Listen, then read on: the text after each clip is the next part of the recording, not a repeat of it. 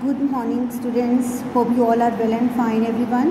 So today we will do our chapter number 6 of grammar which is masculine and feminine nouns. What are masculine? Masculine means male, he gender and feminine means female means she gender.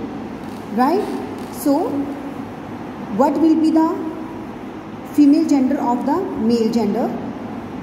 This we will discuss in today's grammar topic. Right?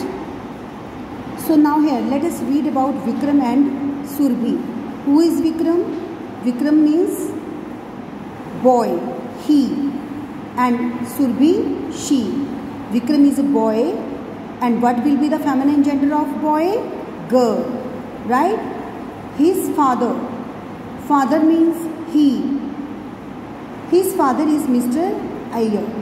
Here is a picture of father and son cooking food.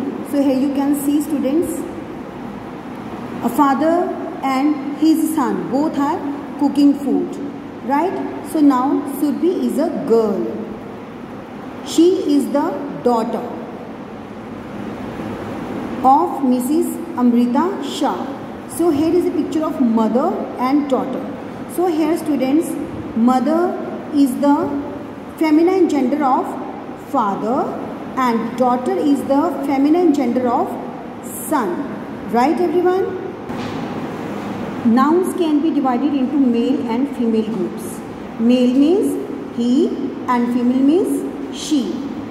Boy, father and son are male nouns. Masculine nouns. Girl, daughter and mother are female nouns. Right students? So, girl, daughter and mother are female nouns to which we can say she. Hmm? Feminine nouns.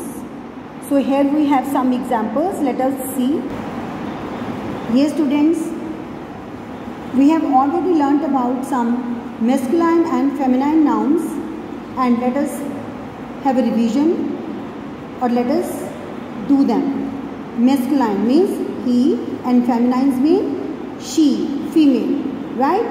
Hero, heroine, emperor, empress, wizard, witch, fox, vixen, drake, duck, lord, lady, bull, cow. So here you can see students, these genders have been divided into two parts.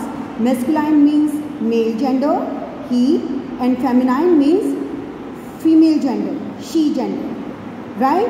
And again we have been given a box in which we have the same thing but here what we have to do?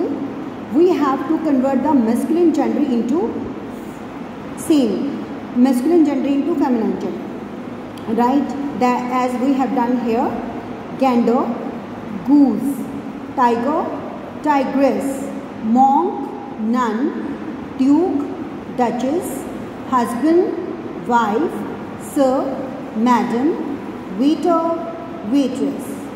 So students, I hope you all have understood what are genders, masculine and feminine. Thank you.